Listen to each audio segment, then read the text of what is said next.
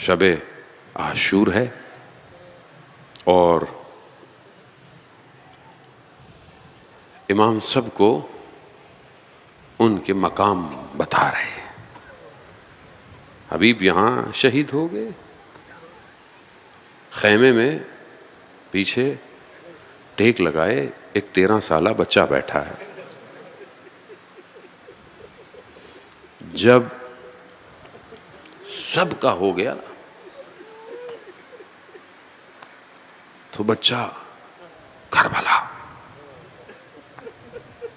Karbala ने हर ज़िंदगी के हिस्सों से लोगों को जमा किया है, ताकि कल कोई ये ना कहे कि मेरे लिए करबला में क्या दर्ज था।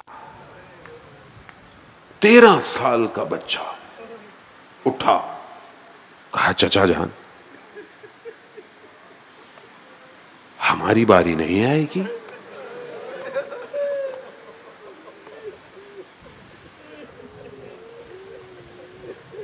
यतीम का ख्याल हुसैन से ज़्यादा कौन जानता है?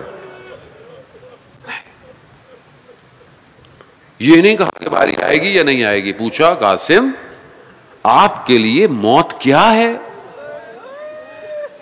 मौत क्या है आपके लिए? अल्लाह अकबर। इमाम का फर्जंद है। खिताबत के जुमले नहीं थे। इमाम के सामने कोई कर भी नहीं सकता खिताबत। वजूद से बयान किया आपने। कहा, चाचा जान, मौत मेरे लिए शहद से भी ज़्यादा मीठी है। अल्लाह अल्लाह मिनल असल, शहद से भी ज़्यादा मीठी ये करबला आज के तेरह साल के बच्चों को ये पैगाम दे रहा है। है आज हमारे तेरह साल के बच्चे के जहन में ये मारिफ ये मारिफ तोहीदी है। ये खौफ नहीं है, ये एक्सट्रीमिज्म नहीं है। साहब, मेरा बच्चा छोटा था, मैं उसको थोड़ी चार पाँच चीज़ सिखाई, मेरी वाइफ ने बोला, ये क्या कर रहे हैं आप? इसको एक्सट्रीमिज्म बना रहे हैं? मैंने कहा, सारी ज़िंदगी करबला पे रोते रहे, बच्चों पे रोते रहे। अपने बच्चे को तैयार करने तो एक्सट्रीमिज्म है। तेरह साल का बच्चा कहाँ से हुसैन फहमीदे ने दर्श लिया जिसने खुरम शहर को आज़ाद किया था? जिसके लिए इमाम खुमैनी के जुमले हैं। इमाम खुमैन ने किसी को अपना रहबर नहीं कहा, सिवाय इस तेरह साल के बच्चे को। हुसैन फहमीदे को जब वो शहीद हुआ, तेरह साल का कोई असलाह नहीं है, ना कोई फौज है पूरी दूसरी दुश्मन के टैंकर आ रहे एक पुल है दरमियान में बस। उसने सबको जो थोड़े बहुत कहा, छोड़ो बजाओ अपने वजूद में ग्रनेड लगाए और जाकर टैंकर के नीचे फट गया। जब वो फट रहा होगा, उसके जहन में रोल मॉडल कासिम बिन हसन था। ये है करबला। इमाम खुमैनी कहते हैं, ये ये मेरा रहबर है। कासिम मौत शहद से भी ज़्यादा मीठी है। रात गुजर गई, माँ भी बच्चों को तैयार कर रही रोज़े आशूर आई एक एक करके लोग जाना चाहते हज़रत कासिम जब भी आते हैं, इजाज़त नहीं क्यों नहीं मिल रही इजाज़त? जबकि मकातिल में है कि जब हज़रत अली अकबर आए, कहा, बाबा, इजाज़त है। इमाम हुसैन ने रोका नहीं अली अकबर को। हसन को नहीं जाने दे रहे। कासिम को नहीं जाने क्यों?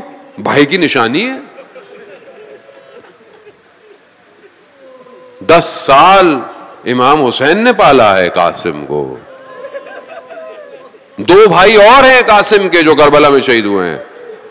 हम, हमारे यहाँ मसाइब नहीं पढ़े जाते, जो हसन बिन अब्दुल्ला है, जो सबसे छोटा अब्दुल्ला बिन हसन, सबसे छोटा है पाँच साल का। उसके मसाइब हमारे यहाँ रिवाज नहीं है, मगर वो बच्चे की मुसीबत बहुत बड़ी है। पाँच साल का है। रोज़े आशूर जब इमाम गिरे हैं, बच्चे से सबर नहीं हुआ। कहा, मेरे चचा गिर गए, दौड़ा है। जालिमों ने रोका नहीं है। उसी हालत में तलवारें उसके ऊपर भी चली हैं। वही चचा पर अपनी जान को कुर्बान कर दिया उस कासिम कासिम को इजाज़त नहीं मिल रही। कासिम माँ के कहा, क्या हुआ कासिम? कहा, चचा, इजाज़त नहीं दे रहे। माँ को याद आया कि जब ढाई तीन साल के कासिम हैं, इमाम हसन मुश्तबा जहर वजूद में है जिगर के टुकड़े तश्त में आ रहे हैं। जब सबको मिला एक एक करके सबको भेजा, कहा, कासिम को लेकर आओ। कासिम को लेकर आओ, कासिम को। कासिम को एक जो है वो तावीज सा बनाकर खत उसके बांधा। और ताकीद की कि जब बहुत मुश्किल वक्त आए ज़िंदगी में तो इसको खोल लेना। अजादारा ने मोहतरम कासिम की ज़िंदगी में कभी मुश्किल वक्त आया ही नहीं।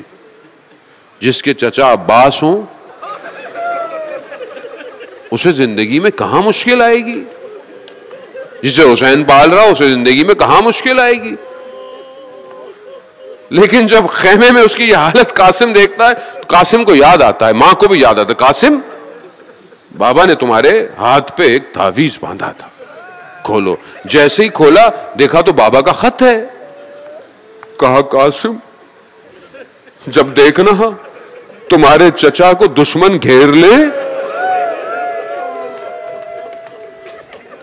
रुकना नहीं। अपनी जान को अपने चचा पे कुर्बान कर दे। बस, अब तो जब कासिम ने यह खत देखा तो गोया कासिम के वजूद में जान आ गई। कासिम के चेहरे का रंग बदल गया।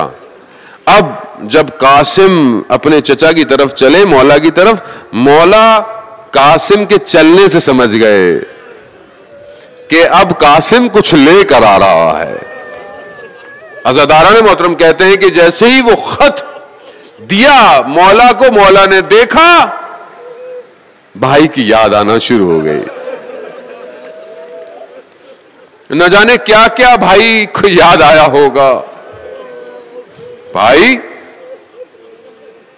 हो सकता है मदीना में जलता हुआ दरवाज़ा याद आया हो।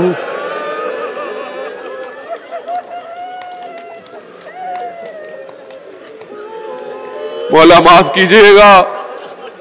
हो सकता है कूचा बनी हाशिम याद आया हो, मैं आगे नहीं पढ़ूँगा बस, ये यादें।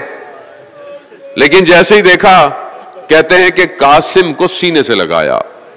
मख्तल कहता है, दोनों ने इतना गिरिया किया चचे भतीजे ने, बेहोश हो गए। इतना गिरिया किया कि बेहोश हो गए। कासिम उठा, चचा के पहुँच चूमता है, हाथ चूमता है। हाथ जोड़ता है, चचा जाने दे। दादी का वास्ता जाने दे।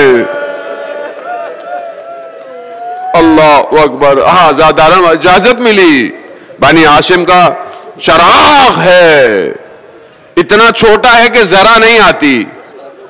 सवार किया, कहते हैं, सवार किया पाउन नहीं आते थे। बाकायदा जो जो भी तस्मे होते थे, उससे बांधा गया। खूब ज़ाहिर है, ताकतवर गया, जो सबसे भारी शख्स, जो 400 लोगों, भारी तो उमर साहब ने कहा कि जाओ लड़ो। कहा, मैं बच्चे से लड़ू? कहा, मगर ये अली के ही औलाद हैं, ये बच्चे नहीं है। कहा, नहीं, मैं अपने बेटे को एक को भेजा। हज़रत कासिम ने जहन्नुम वासिल किया, दूसरे को भेजा जहन्नुम। चारों बेटों को हज़रत कासिम ने जहन्नुम वासिल किया। अब ये खौफ और तैश में आ गया। इसने बोला कि, बस, अब मैं इसको जब तक मार डालू वापस नहीं आऊँगा। लेकिन इन्होंने हीले और बहाने से आयतुल्ला जिशान हैदर जवादी भी पढ़ा करते थे, आयतुल्ला फलसफी, बहुत बड़े पुराने सुखनरान थे, मजलिस पढ़ते थे। कहते थे कि चंद जगहों पर धोखा जायज़ नहीं है। एक जगह जंग है, धोखा नहीं देना चाहिए। इसने हज़रत कासिम को धोखा दिया। अल्लाह अकबर। कहा, इतने बड़े शुजा हो, मगर तस्मे खुले हुए हैं। बस कहते हैं कि हज़रत कासिम नीचे झुके। बस इसने तलवार का वार किया। बस। उसके बाद ये अशिया की फौज ने जो हमला किया ना, हज़रत कासिम नीचे गिरे। कहा, चचा जान! बस आजादारा ने जब तक इमाम हुसैन पहुँचते, इधर के घोड़े उधर हुए। ये ऊपर बैठा था कि मैं गर्दन उठाऊँगा, लेकिन इमाम हुसैन इतनी तेज़ी से आए कि उसका एक बाजू कलम किया, मगर दुश्मन की फौजों की रफ्त और आमद ने कासिम की दाएँ पसलियों को बाएँ तरफ़ छोड़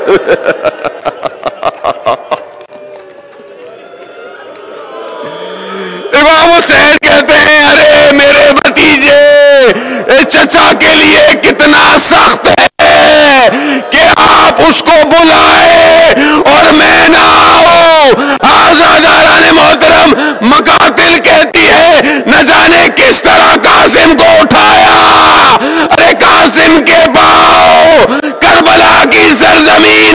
घसीटते हुए